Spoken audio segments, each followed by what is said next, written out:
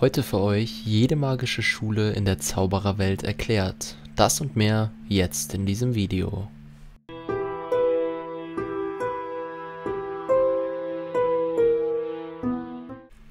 Heutigen Video reisen wir über die Grenzen des Vereinigten Königreichs hinaus und werfen einen Blick auf die globale Zauberergemeinschaft. In den Harry Potter Büchern und Filmen beschränken wir uns mehr oder weniger auf einige Orte im Vereinigten Königreich und das war dann auch schon die erste Einführung in der Harry Potter Zaubererwelt. Als jedoch die fantastischen Tierwesenfilme herauskamen, begann sich die Zaubererwelt, wie wir sie kennen, zu erweitern und uns neue Länder und magische Orte zu zeigen. Ich habe es immer wieder von euch mitbekommen, dass ihr euch mehr Infos über andere Zaubererschulen wünscht und so sei es. Da wir immer mehr über andere Zaubererländer erfahren, finde ich es besonders interessant, wie sich die Kultur der Zauberer von Ort zu Ort unterscheidet. Und im heutigen Video werde ich auf einen besonderen Aspekt dieser Kultur eingehen, das Schulsystem. Denn Hogwarts, auch wenn sie womöglich die beste Schule ist, ist nicht die einzige Option für Hexen und Zauberer rund um den Globus. Heute möchte ich euch die Augen für die anderen Schulen öffnen, zumindest für die, von denen wir wissen und über die wir Informationen haben. Wie sich herausstellt, gibt es insgesamt elf etablierte Zauberschulen, zumindest elf, die offiziell bei der Internationalen Konföderation der Zauberer registriert sind. Heute werde ich euch acht davon vorstellen, da wir nie über diese acht Informationen haben. Ich weiß, was du jetzt vielleicht denkst. Elf Schulen für die ganze Welt, ist das nicht ein bisschen wenig? Ja, du hast zwar recht, das ist echt wenig, auf die ganze Welt betrachtet, aber dafür gibt es eine sehr gute und logische Erklärung. Die meisten magischen Gemeinschaften entscheiden sich dafür, junge Hexen und Zauberer zu Hause zu unterrichten. Deshalb gibt es im Vergleich zur Anzahl der Länder auch so wenige Schulen. Alternativ dazu können einige Hexen und Zauberer auch Fernkurse belegen. Es gibt also elf offizielle Zauberschulen, ein paar inoffizielle Schulen und eine beträchtliche Anzahl von Schülern, die zu Hause unterrichtet werden. Zu acht Schulen haben wir Infos. Jetzt bleibt nur noch die Frage zu beantworten, was sind diese acht Schulen? In welchen Ländern gibt es sie und wie unterscheiden unterscheiden sie sich von Hogwarts. Die erste Schule ist folgende. Koldovstvorets. Koldovstvorets ist die Zauberschule Russlands, eine von elf Schulen in der Internationalen Konföderation der Zauberer. Der Name setzt sich aus den russischen Wörtern Koldovstro für Hexerei und Tvorets, was Schöpfer bedeutet, zusammen. Wenn wir beide Wörter übereinander legen, ergeben sie ein Portmanteau, das der Schöpfer der Magie bedeutet. Das macht durchaus Sinn für eine Zauberschule. Es gibt nicht viele Informationen über diese Schule und das liegt einfach daran, dass J.K. Rowling, obwohl sie die Schule in die offizielle Liste der Zauberschulen aufgenommen hat, beschloss, keine zusätzlichen Informationen über diese besondere akademische Einrichtung zu veröffentlichen. Dieser Mangel an Informationen hat die Fans jedoch dazu gezwungen, besonders kreativ zu werden. Das Ergebnis sind folgende von Fans veröffentlichten und nicht offiziellen Details über die Schule. Darunter folgendes. Die Schule befindet sich an einem versteckten Abschnitt des Ladoga-Sees, einem Süßwassersee im Nordwesten Russlands. Die Schule ist von einer schützenden Barriere umgeben und die Schule hat ein Haussystem, wobei die Häuser stattdessen als Höfe bezeichnet werden, was ähnlich wie das Hogwarts-Haussystem funktioniert. Die einzige Kanon-Information, die wir über die Schule haben, ist, dass sie ihre eigene Version von Quidditch haben, bei der sie nicht auf Besen fliegen, sondern auf ganzen entwurzelten Bäumen. Als nächste Schule auf unserer Liste haben wir Domstrang.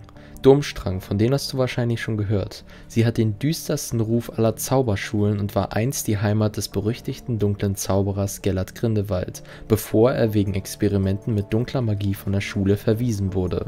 Abgesehen von den Schülern und dem Personal der Schule weiß niemand genau, wo Domstrang liegt, außer dass es irgendwo im hohen Norden Europas liegt.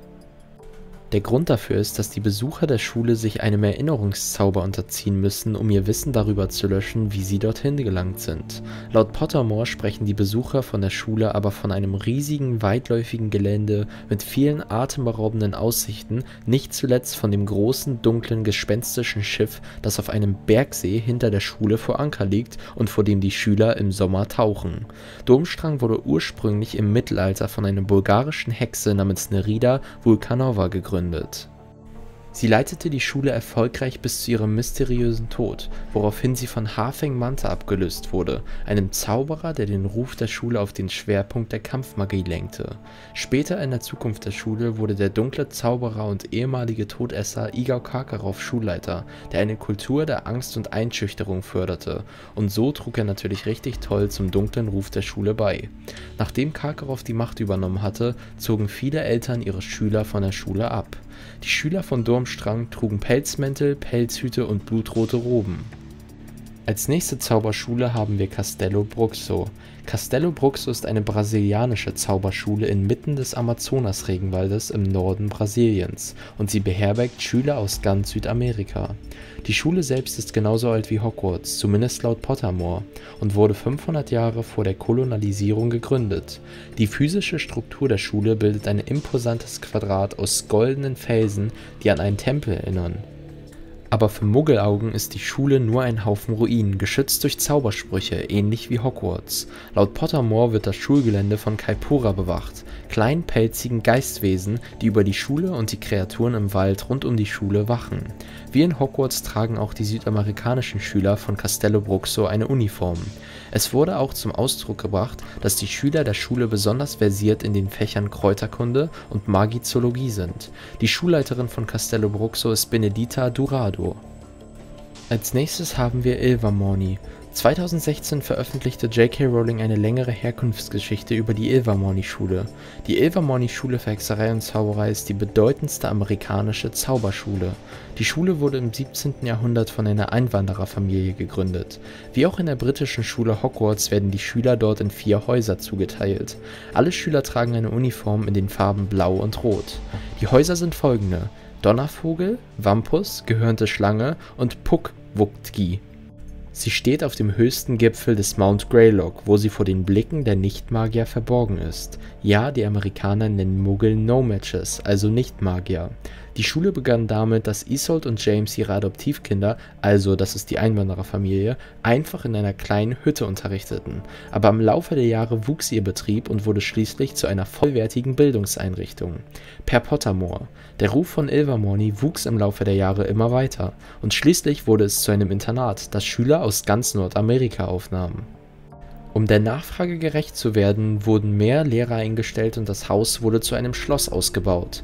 Im 19. Jahrhundert hatte die Schule einen internationalen Ruf erlangt und in den 1920er Jahren galt sie als eine der besten Zauberschulen der Welt.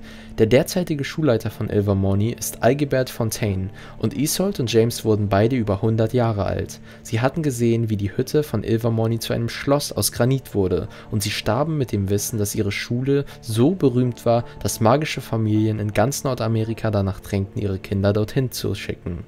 Als nächstes haben wir Mahutukoru. Mahutukoro ist die japanische Zauberschule, die sich auf dem höchsten Punkt der vulkanischen Insel Minami Iwo-jima befindet. Es ist nicht wirklich bekannt, wann genau die Schule gegründet wurde, aber viele spekulieren, dass sie eine der ältesten Zauberschulen ist und sie wird nur als uralt bezeichnet. Diese japanische Schule hat die kleinste Schülerschaft der elf großen Zauberschulen und nimmt sogar schon Schüler ab dem Alter von sieben Jahren auf. Der kunstvolle und exquisite Palast von Mahutukoro ist aus Hammelfettjade gefertigt.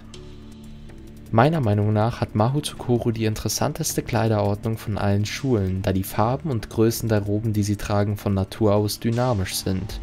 Dies wird auf Pottermore wie folgt beschrieben: Die Schüler erhalten bei ihrer Ankunft verzauberte Roben, die mit ihrer Größe verwachsen und sich mit zunehmender Bildung des Trägers allmählich verfärben. Wenn der Schüler Bestnoten hat, färbt sich die Robe gold, und wenn die Roben weiß werden, ist dies ein Zeichen dafür, dass der Schüler den japanischen Kodex der japanischen Zauberer verraten und illegale Praktiken angewandt hat oder das internationale Geheimhaltungsstatut gebrochen hat das Weißwerden der Robe ist eine schreckliche Schande, die zum sofortigen Ausschluss von der Schule führt und ein Verfahren vor dem japanischen Ministerium für Zauberei nach sich zieht. Die Schüler der Schule benutzen in der Regel Zauberstäbe aus Kirschholz und die Schule selbst ist bekannt für ihre beeindruckenden akademischen Leistungen und ihren hervorragenden Ruf für Quidditch. Interessanterweise ist dies trotz der kleinen Schüleranzahl die einzige bekannte Schule Asiens, was darauf hindeuten könnte, dass auch einige asiatische Hexen und Zauberer die Schule in Russland besuchen.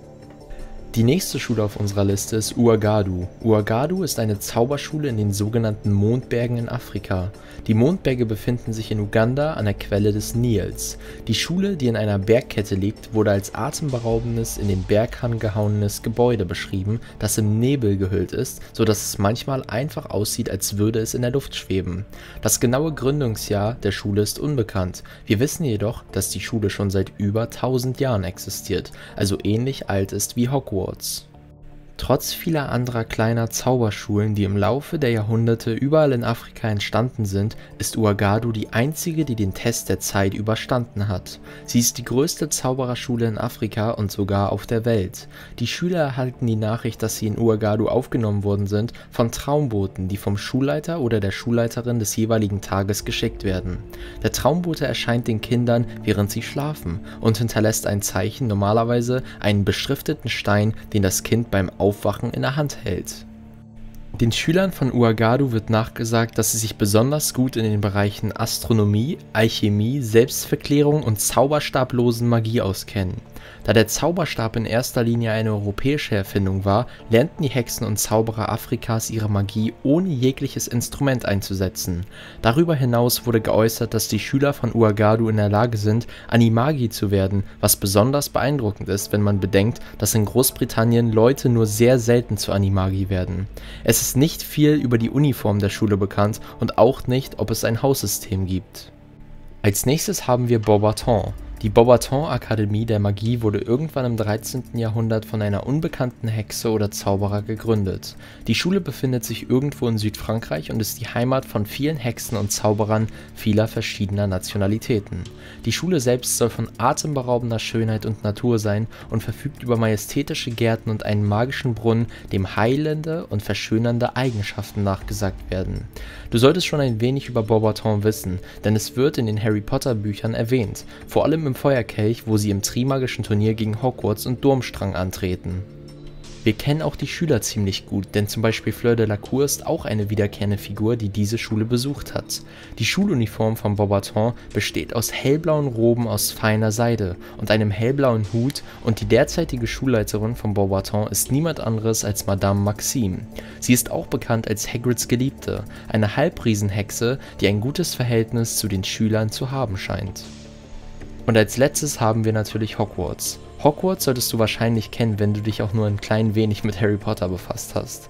Hogwarts wurde irgendwann im 10. Jahrhundert gegründet. Sie wurde irgendwo im schottischen Hochland versteckt und gebaut, aber der genaue Ort wird nie genannt. Und das deshalb, weil das 10. Jahrhundert für Hexen und Zauberer eine sehr harte Zeit war.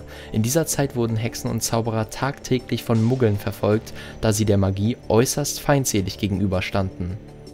Um das Personal, die Schüler und die Schule selbst weiter zu schützen, wurden zusätzliche Vorsichtsmaßnahmen und Vorkehrungen in Form von Zaubern getroffen, um die Schule natürlich noch besser vor Muggeln und Unbefugten zu verbergen. Hogwarts wurde gegründet, als sich im 10. Jahrhundert vier Hexen und Zauberer trafen und beschlossen, dass sie die beste Zauberschule der Welt gründen wollen. Diese Gründer waren Godric Gryffindor, Rowena Ravenclaw, Salazar Slytherin und Helga Hufflepuff, und so wurde Hogwarts geboren. Der Name Hogwarts stammt eigentlich von der Gründerin Rowena Ravenclaw, die einen Traum hatte. Nachdem die Gründer die Schule gegründet hatten, beschlossen sie, dass jeder von ihnen ein eigenes Haus gründen und leiten würde, das die Schule repräsentieren sollte. Dieses Haussystem soll die Persönlichkeitseigenschaften der Gründer von Hogwarts für die jeweiligen Häuser widerspiegeln, die sie fördern wollen. Und wie es der Zufall wollte, legten die Gründer, obwohl sie eng befreundet waren, Wert auf sehr unterschiedliche Dinge, was zu einer recht interessanten und vielfältigen Gruppe von Schülern an der Schule führte die Gryffindor-Schüler verkörperten Tapferkeit und Ritterlichkeit, die Ravenclaw-Schüler Intelligenz und Verstand, Hufflepuff Loyalität und Fairness und Slytherin die Werte der Verschlagenheit und Gerissenheit. Und das war's dann auch schon mit den Zauberschulen auf der Welt. Vielleicht werden wir die Informationen über andere Zauberschulen noch in der Zukunft erhalten, aber vielleicht auch nicht. Bis dahin war's das mit den Schulen. Und das war es auch wieder mit diesem Video. Ich hoffe, es hat dir gefallen und wenn es das hat, würde ich mich sehr über einen Daumen nach oben und ein Abo freuen. Wenn du Fragen oder Anmerkungen hast, schreib sie mir gerne in die Kommentare. Auch wenn du neue Videoideen hast, schreib sie mir gerne in die Kommentare. Bis dahin, bis zum nächsten Mal bei Harry Potter Wissen.